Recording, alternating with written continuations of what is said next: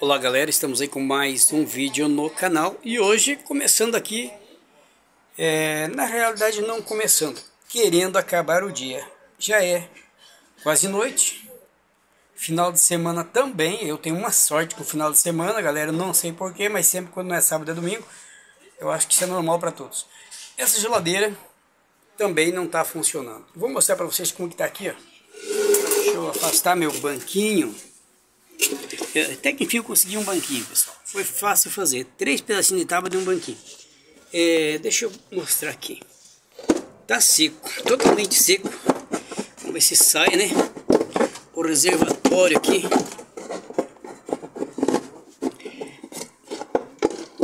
Aí, sempre que alguém for puxar esse reservatório, puxe meio para cima, pessoal. Porque ele, ele é encaixado embaixo aqui, ó.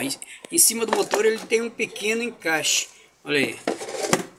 Essas perninhas aqui ficam em cima dos canos do motor. Quando os canos são original de fábrica, já vem no jeitinho certinho. É bem encaixado. Agora, quando alguém troca o motor, normalmente isso aqui não fica certo nunca mais. A não ser que a pessoa lembre muito bem que é importante a colocação desse reservatório para que a água caia. Quando eu mostrei a geladeira para vocês atrás aí, muita gente pensou que essa geladeira é pequena. Não, essa geladeira não é tão pequena. Ela é grandinha e é uma geladeira frost free, certo pessoal? Motor de melhor marca que eu considero aí, motor da Embraco. É motor bom. E inclusive esse motor aqui tá bom. Esse papel aqui eu vou mostrar para vocês esse adesivo. Isso aqui dá para ter certeza que é de fábrica. Vem de fábrica. Eles colocam isso aqui para que não, não aconteça nenhuma ferrugem na solda aqui, ó. Tá? Deve ser isso. É sempre colocado quando é de fábrica um adesivo desse tipo aqui, ó. Vem com esse adesivozinho.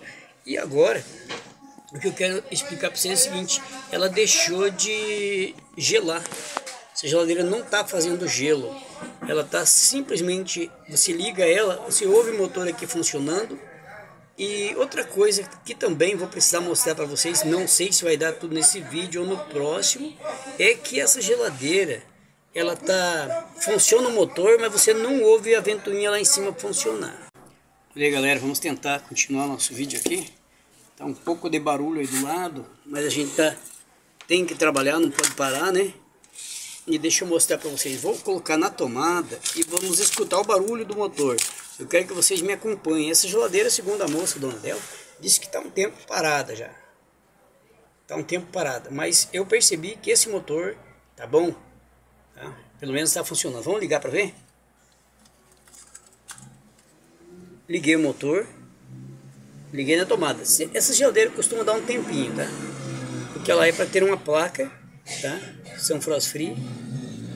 Elas demoram um pouquinho para ligar. Então vamos aguardar aqui.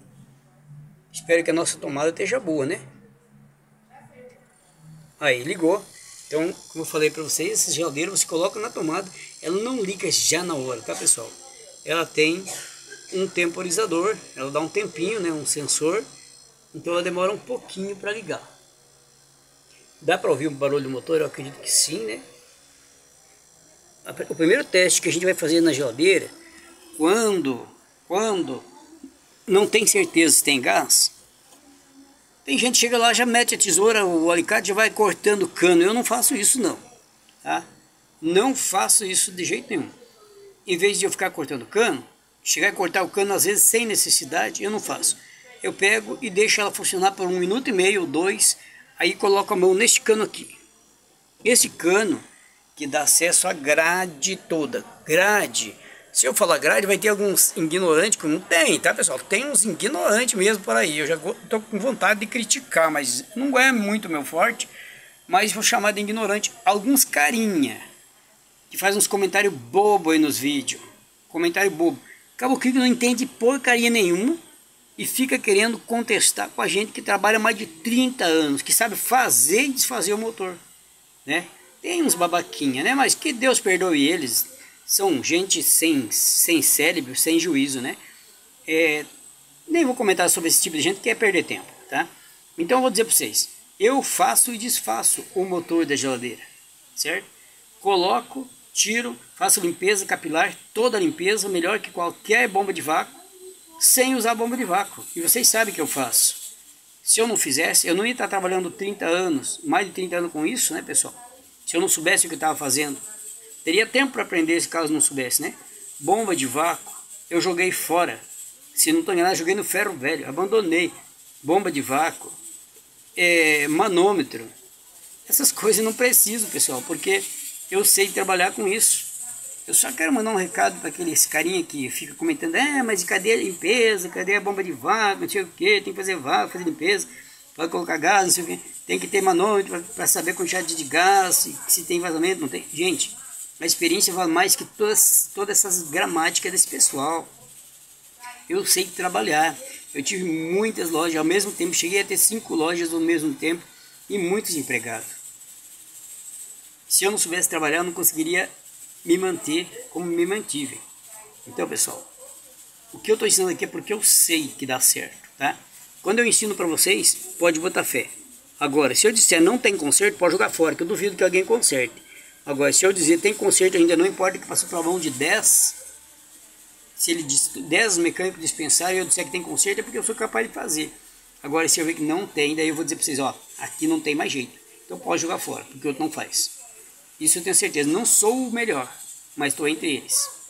Pelo menos no que se chama de aprendizado e sabedoria. O que aprendi na prática, aprendi fazendo. Quando você sente uma dor, precisa alguém te dizer geme? Precisa alguém te ensinar a gemer ou, ou a dor te ensina a gemer? No meu ponto de vista, a dor ensina a gemer. Né? E a fome ensina a comer. O sono te ensina a dormir. Não precisa ninguém te ensinar a dormir. Você acha que precisa alguém vir batendo no seu ombro para você dormir? Se você é inteligente, você entendeu. Beleza. Um abraço aos meus amigos, a galera que acompanha os meus vídeos, a galera que está muitos anos comigo, né? acompanhando, aprendendo e trocando ideia. E muitos hoje estão ensinando outros. Tá? Já passou um minuto e meio, coloca a mão neste cano, não gela. Aliás, esse não esquenta e esse não gela. Esse é o que gela, tá pessoal? Tá? Esse cano aqui ele esfria, enquanto que esse tem que esquentar. Se esse cano não esquentar, é porque sua geladeira não tem gelo dentro, não tem gás. Tá? Se esse cano não esquentar, não tem gás. Quando tem gás, esquenta todinha essa grade aqui, ó sobe lá em cima e desce, volta por volta, volta por volta, vai esquentando volta por volta. E a última volta que esquenta é essa que chega no filtro aqui, ó, no filtro secador. Então, ó, a amostra que eu vou dar para vocês, não esquentou o filtro, você já é um professor. Diga para a turma aí, ó, não esquentou o cano aqui, ó, da saída da alta, que não esquentou.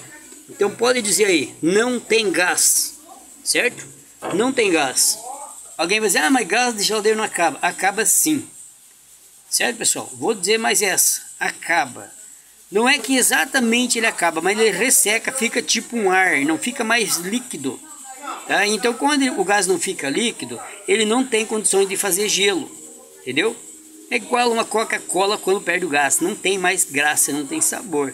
Então, o gás aqui é assim também. Quando ele perde aquele líquido ele fica tipo seco, ressecado. Alguns mecânicos, alguns técnicos chegam a dizer que o gás é, congelou. É um dizer deles, congela o gás, mas eu não digo assim, tá pessoal? As pessoas dizem, mas eu não falo isso. Eu falo noutra língua, tá? E o meu dizer é diferente. O gás parece que resseca e vira tipo um ar. Olha aí. Geladeira bonita, é grande, não tá lá bem conservada, aquelas coisas, né? Mas isso aí depende de cada um. Mas é uma geladeira que não é antiga, tá? Também não é tão nova, ela tem 7 anos, segundo a moça dona delas, que tem 7 anos de geladeira.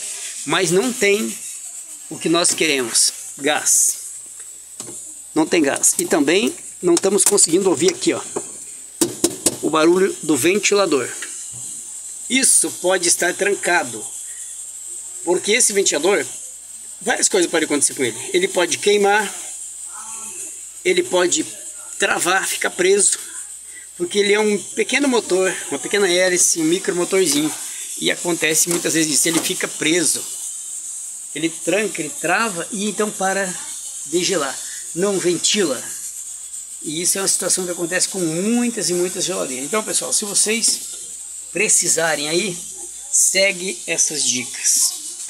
Quando esse micromotor está bom, se nota aqui nessas janelinhas ali, ó. Ali tem janelinha, Aqui tem outra, ó, são saídas de ar. Ó.